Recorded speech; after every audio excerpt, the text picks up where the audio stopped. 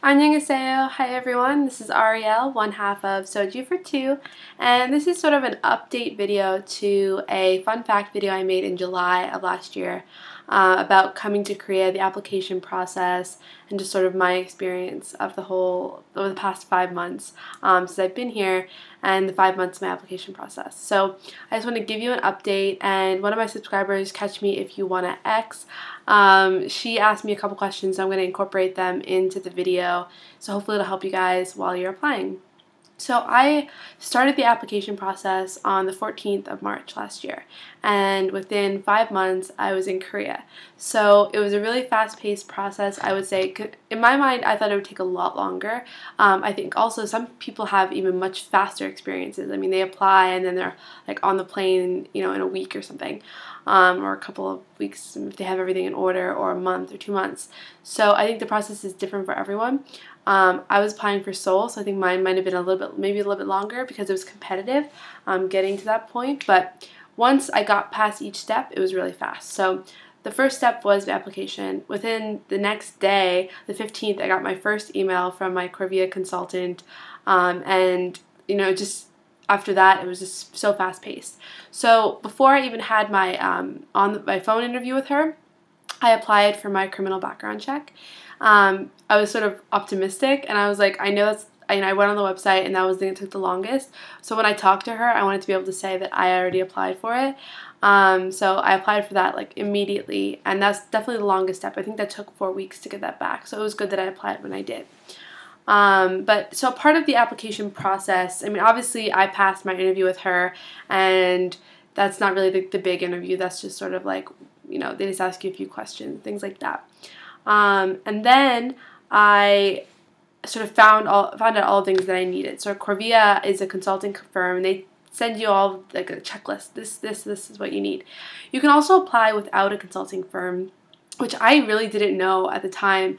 Um, you know, I had done research, and I think the most of the research I had done was the difference between Hagwon and public. And I didn't realize that you could apply directly to EPIK. So I applied through a consulting firm because my friend said it was a good consulting firm, and I did a lot of research, and I was like, oh, that's obviously the way to do it. Um, and I didn't even know you could apply directly. But I'm happy I didn't because I think my entire experience was not stressful because I knew I always had someone I could call or email, and that was really reassuring to me, uh, especially moving you know across the world. So, what do you need? You fill out an application form, which is basically your entire life. You know, the jobs you've had, your school background, your GPA, all of those things.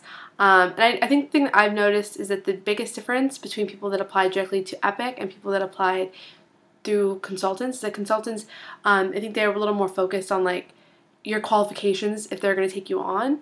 Um, and I know things like GPA and all of those things sort of factor into whether or not the consulting firm wants to work with you. Um, so I think most of them require like a 375. I might be wrong on that, but I know I, my GPA is much higher than that. So I think that they were willing, obviously, to work with me. But I think that's the biggest problem that my friends have who applied directly to EPIK um, was that they like a bunch of consulting firms didn't accept them or things like that. Um, so you need, yeah, you fill out your application, and your application you have to be really, really careful not to make mistakes and I made, I remember I made like two or three mistakes, and right away my consultant emailed me, I sent it back. So you can make mistakes, it happens, but obviously you just have to keep rolling with it. And you know, if, if your consultant sends you a message, respond immediately. Immediately is the most important thing. Um, you need your uh, diploma, which I brought to Korea with me. Um, I guess I'm not going to show you because it's stuck. Um, and I have all of my paperwork still in here. This is what I, I got when I decided to apply and I just have everything in here, all my documents like sorted um, because you need your diploma, you need a sealed transcript which you have to ask your school for. Um, usually there's like a nominal fee, I think mine was $25 or something like that. Um, don't open it, you need it to be sealed. Um, you need a criminal background check which I mentioned I applied for even before I had my interview with um, my consultant because it takes the longest time. Mine took four weeks. Um, you need letters of recommendation. You need two. So first of all, here's the thing: pick your recommendations carefully. Pick people that are obviously going to write you a good recommendation, but also pick people that are going to respond quickly, um, and have it all you know, make it a, a seamless process for you.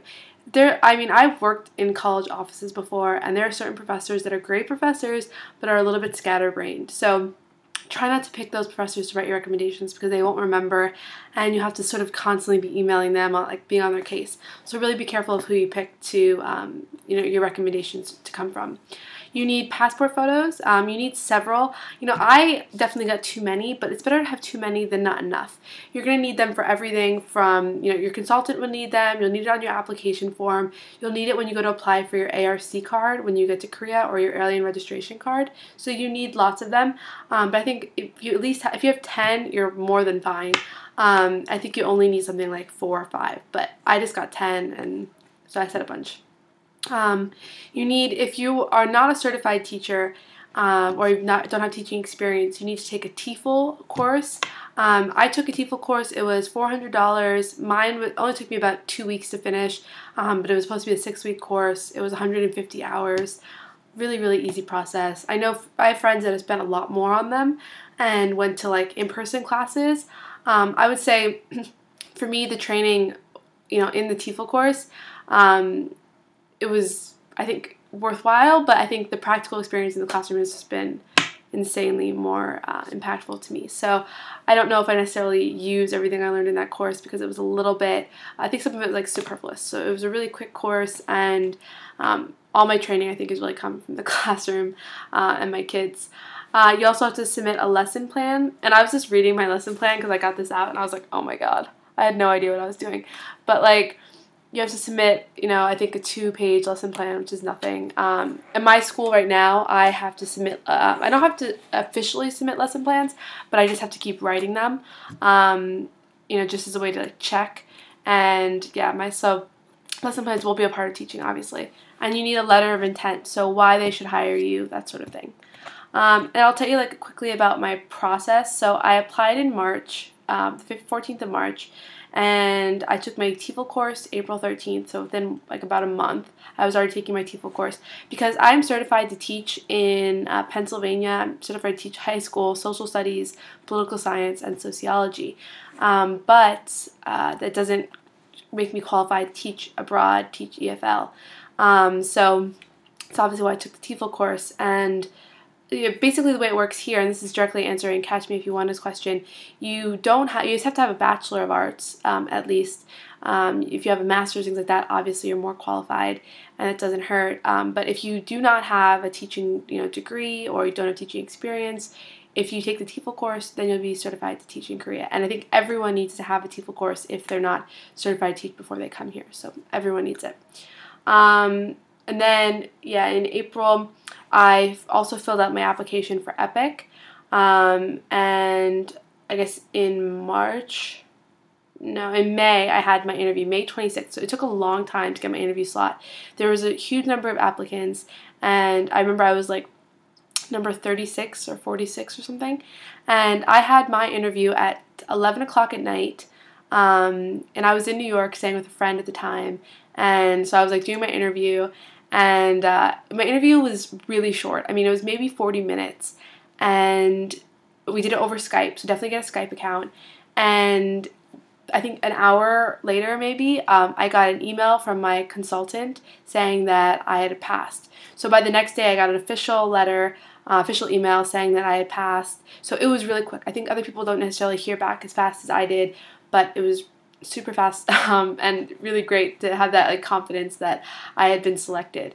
So I think the interview obviously went well. Um, and the interview was honestly less stressful than I thought it was going to be. Um, her English was excellent, and and we mostly talked about like my major and things like that. So it was something I was really comfortable with, and I really really was a great interview. Um, and then I was yeah obviously accepted the next day, and then I had to file for I had to get my contract and my visa. The contract, I think, was a pretty easy process. Um, I got my contract and then I had to take it to the visa office. And you have to give the consulate your um, contract so that way they know that you have a reason to be going there. I have an E2 visa in the country, um, and things like that will come in handy then when you go to apply for your um, alien registration card, which I always keep on me keep with me here. And so you just need to have um, your obviously your visa and your passport. The visa took me I think two days.